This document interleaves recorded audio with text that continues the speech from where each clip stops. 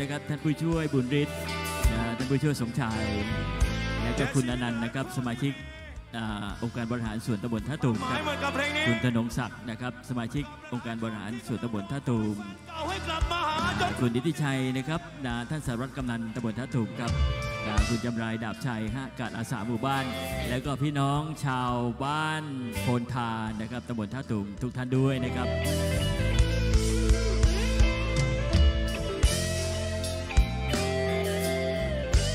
เท่าไหร่ก็จะรอถ้าเธอมาหาฉันจริงๆนั้นก็จะขอ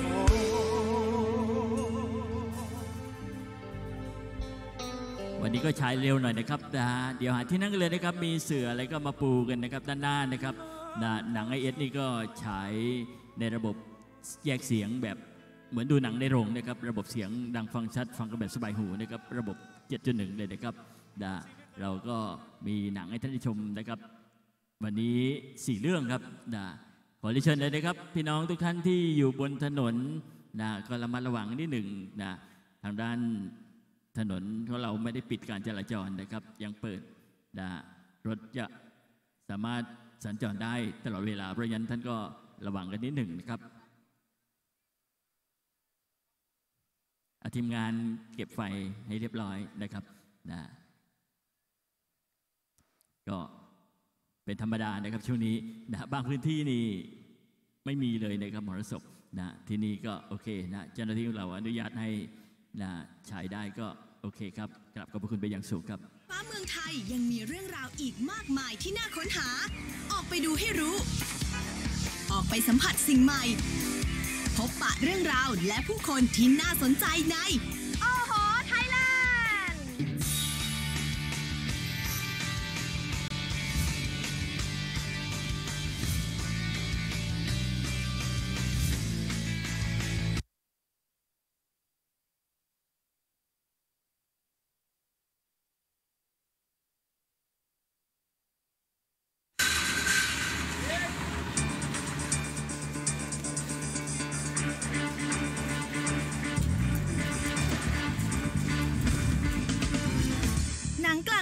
เป็นอีกรูปแบบหนึ่งของความบันเทิงที่คู่กับสังคมไทยมานาน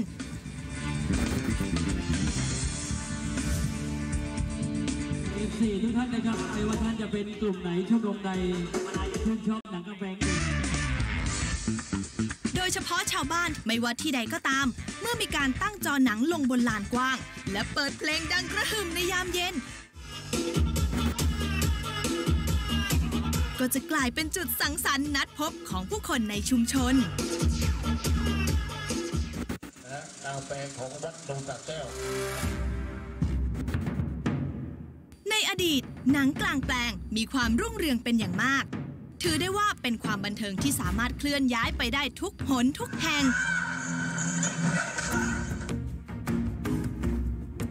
แต่เมื่อเทคโนโลยีการฉายหนังในรูปแบบใหม่เกิดขึ้น เครื่องฉายหนังวิดีโอ เริ่มเข้ามามีบทบาท จึงส่งผลกระทบต่ออาชีพรับจ้างฉายหนังกลางแปลงทันที บางรายก็ต้องเลิกกิจการไปในที่สุด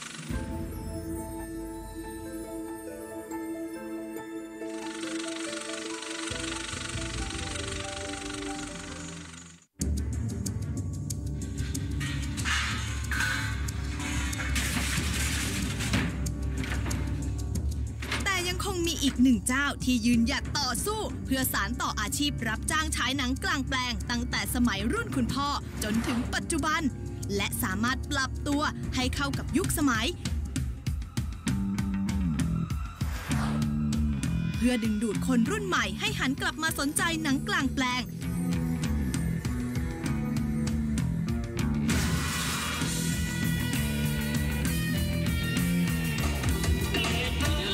ชิกนุ่มหล่อสาวสวยต่อสอบถามที่จุดลงทะเบียนด้านหน้าได้เลยครับคุณผู้ชมคะได้ยินเสียงอะไรข้างหลังไหมคะเนี่ยแหละค่ะคือเสียงของความสนุกในค่ำคืนนี้ วันนี้ใบตองจะพาคุณผู้ชมมาดูหนังกลางแปลงค่ะ แต่หนังกลางแปลงที่พามาดูในวันนี้ ไม่เหมือนที่อื่นอย่างแน่นอน เพราะว่ามันเป็นหนังกลางแปลงยุคใหม่สงสัยใช่ไหมว่าไม่เหมือนยังไง ตามใบตองเข้าไปดูข้างในกันเลยค่ะ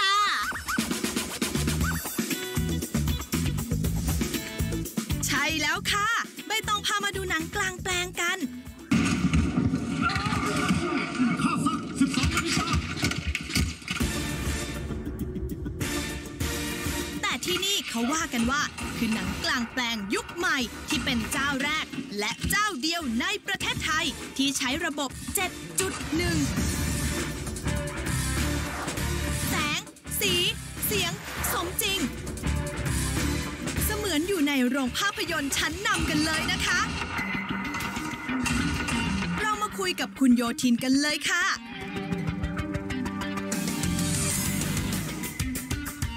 สวัสดีค่ะ สวัสดีครับเฮียโยทินคะเป็นผู้นำหนังกลางแปลงมาฉายที่นี่ เป็นหนังกลางแปลงยุคใหม่ด้วยใช่ไหมคะ ใช่ครับครอบครัวผมอะเคยทำหนังกลางแปลงมาก่อนค่ะ ครับตั้งแต่สมัยรุ่นคุณพ่อ ถึงยุคยุคหนึ่งที่ยุคหนังกลางแปลงตกต่ำก็จะซบเซาไปซก็บเซา ผมก็หยุดกิจการไป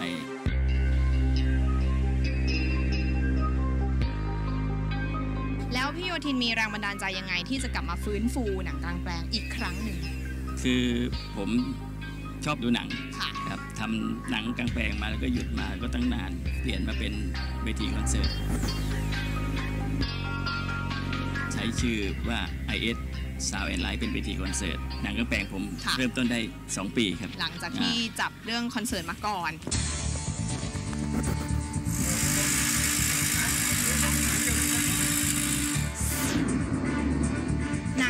แปลงยุคใหม่เนี่ยมันแตกต่างจากยุคเก่ายังไงคะ คือหนังกลางแปลงเท่าที่เคยมีมาค่ะ ในเมืองไทย เน้นกับระบบเสียงคือเขาฉายแค่2เส้นแน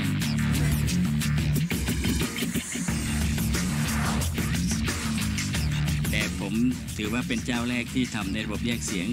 7.1 คือเหมือนดูหนังในโรงเลยครับ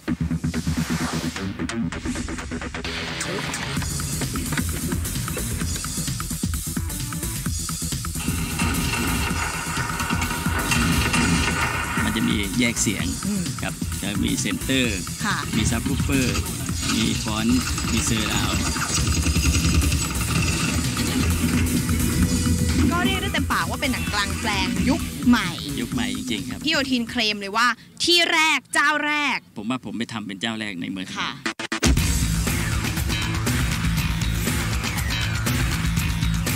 กระแสตอบรับจากชาวบ้านจากที่ ผมผมไม่ได้มีงานทางนี้โดยตรง เพราะว่าผมจะมีงานหลักคือคอนเสิร์ตคอนเสิร์ตแต่ตอนหลังๆกระแสดีมากคือ ต้องสร้างหน่วยหนังขึ้นมาอีกชุดหนึ่งเลยดิที่ไม่เกี่ยวกับคอนเสิร์ตแยกเลยกันไปเลยว่าใช่ครับคอนเสิร์ตก็คือคอนเสิร์ตนะครับหนังกลางแปลงก็เป็นหนังกลางแปลง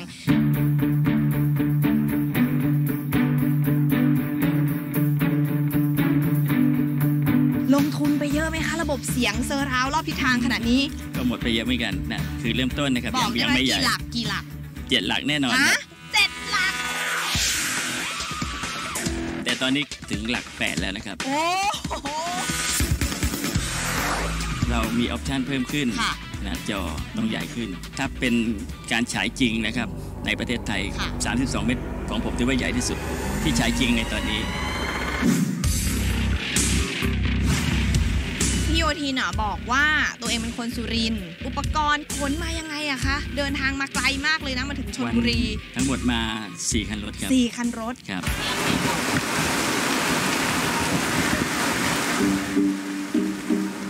อย่างเงี้ยค่ะ เวลาที่ฟ้าฝนมันไม่เป็นใจฝนตกอย่างเงี้ยเรามีวิธีการรับมือยังไงบ้าง อืมเหตุการณ์แบบเนี้ยผมผมเคยชินแล้วชินเพราะว่าแล้ว แต่หลักๆ เราก็จะมีเต็นท์มีผ้าใบคลุมไว้ถ้าฝนไม่แรงลมไม่แรงมาก เราก็ยังฉายปกติครับ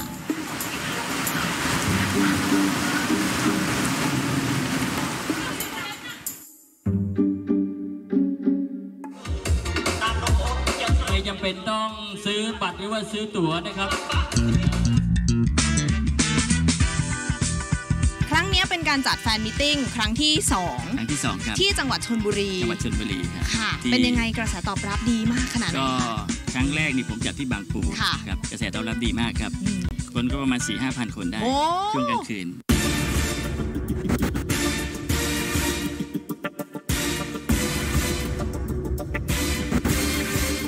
จากครั้งนั้นมาก็แล้วก็มีการสาวเสียงครับว่าเออสนใจอยากจะมีครั้งที่สองไหมค่ะแล้วก็ทำคอมเมนต์อะไรมาต่างๆ เยอะมากครับบอกว่าให้มีหนังกลางแปลงไอเอสภาพยนตร์นี่อยู่จังหวัดสุรินทร์ทำไมถึงได้มาฉายถึงค่ะที่นี่ เพราะว่าแหล่งตรงเนี้ยซึ่งค่ะคนอีสานนี่มาทำงานเยอะครับแล้วก็มีการซาวเสียงมาแล้วว่าอยากดูที่นี่ ใช่ครับเราเน้นสนุกกับเน้นสนุกนานๆจะได้เจอกันทีนะ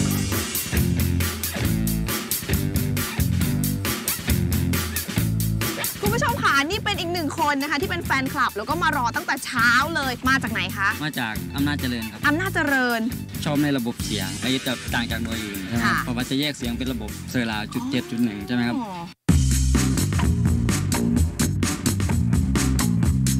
มาจากไหนกันคะ มาจากระยองครับเคยมาดูก่อนหน้านี้ไหม ไออันนี้ครั้งแรกครั้งแรก แต่ติดตามในเฟซบุ๊กทำไมถึงชอบดูหนังกลางแปลงสนุก ดีสนุกดีได้อัธรสใช่ครับอย่างเงี้ยเหรอมันไม่มีที่ไหนเหมือนครับผมนี่ก็เป็นมิติใหม่นะครับสำหรับหนังกระแปลงในระบบ 7.1 มันสามารถทำได้จริงหรือเปล่า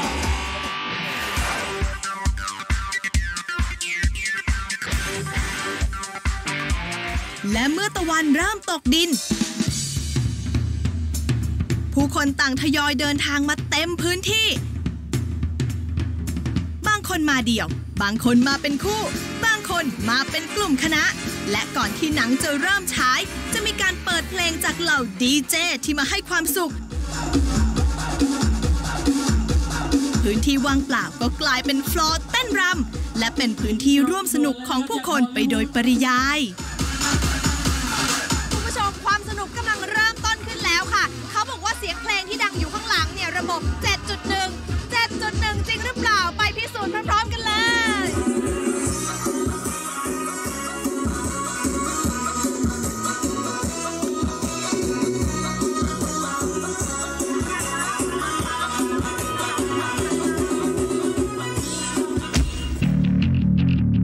ได้เวลาหนังฉาย ความสนุกของฟลอร์เต้นรำได้ถูกปรับเปลี่ยนเป็นโรงหนังกลางแจ้ง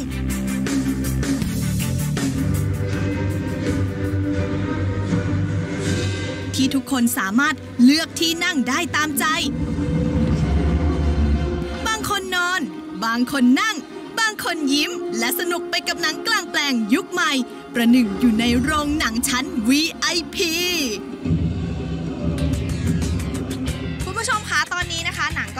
ไปบางส่วนแล้วค่ะ เดี๋ยวมาถามพี่โยทินกันต่อว่ามีวิธีการเลือกหนังยังไงบ้าง หนังที่ฉายในงานก็หลักๆก็คือ ผมต้องเน้นทางด้านระบบเสียงไว้ก่อนค่ะ ครับประเภทหนังซูม หรือว่าหนังที่คุณภาพที่ไม่ได้ก็คือจะไม่ฉายเลยไม่เอาเลย ใช่ครับคุณภาพเสียงต้องได้ที่ชัดเจน ค่ะ ในพิธีประโลมนี้มาจากการยอมแพ้ ถ้าเกิดว่าเป็นหนังเนี่ย มันก็จะต้องมีเรื่องของลิขสิทธิ์เข้ามา ครับ ของเรานี่ ถูกลิขสิทธิ์หรือเปล่า หนังของผมนี่ก็ทำสัญญากับเจ้าของบริษัทลิขสิทธิ์ค่ะโดยตรงครับ แล้วก็เรามีลิขสิทธิ์ฉายได้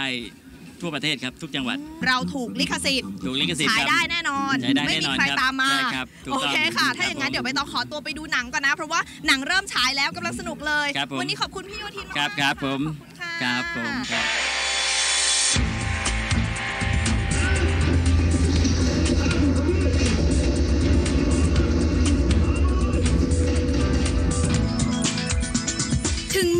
กลางแปลงในบ้านเราแทบจะหาดูไม่ค่อยได้แล้ว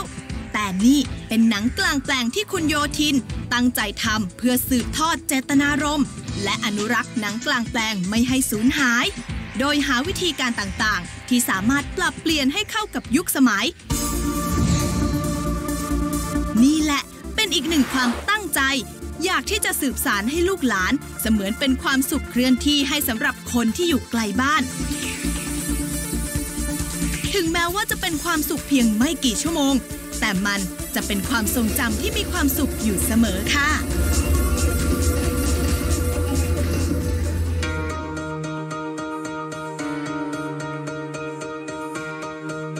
ตื่นตา แปลกใจ และเพลิดเพลินไปกับเรื่องราวที่เราไม่คุ้นชิน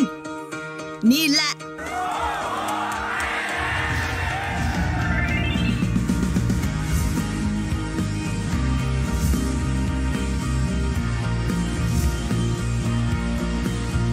คุณพิธีกรนะครับคุณใบตองกับรายการโอโหไทยแลนด์นะครับไทยรัฐทีวี คุณผู้ชมมากันแล้วหาที่นั่งกันเลยนะครับวันนี้ภาพยนตร์ฉายเร็วหน่อยนะครับนะเนื่องจากเจ้าหน้าที่ไม่ให้เปิดเพลงนะครับ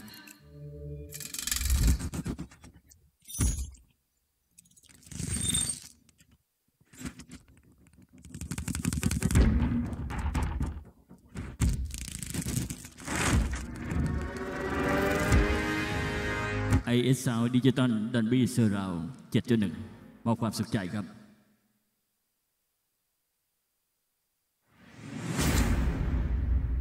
ដើម្បីប្រទេសជាតិរបស់យើងនិងប្រជាជន លោកនាយកុំចោទពួកខ្ញុំ អកុយ សូមទោសផង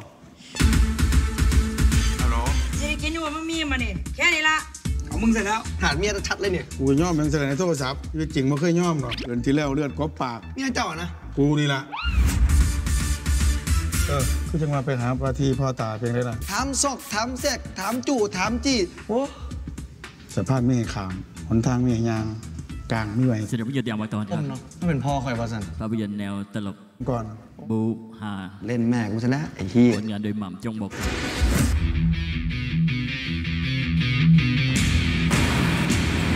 คุณผู้ชมมากันแล้วหาที่นั่งเลยนะครับ วันนี้ขัดใจวัยรุ่นนิดนึงนะ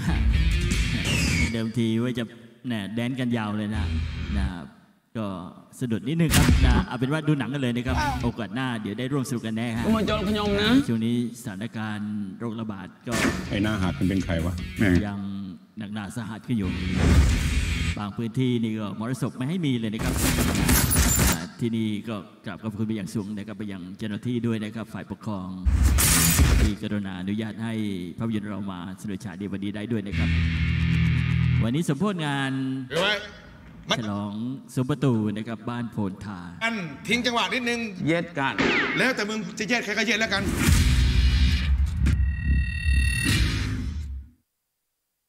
แล้วก็ที่ลืมไม่ได้คือพ่อขัวแม่ขัวครับดูขึ้นยืนครับ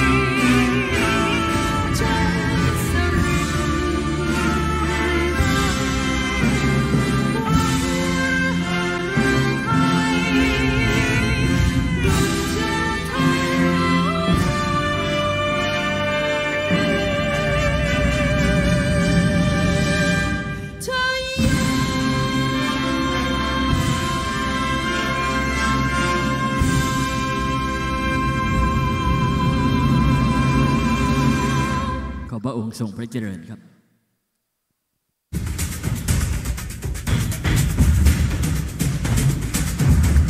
ฝากเพื่อนกันครับหนังกลางแปลงยุคใหม่ IS Sound Digital Movie สุรินทร์ระบบดิจิตอล Dolby surround 7.1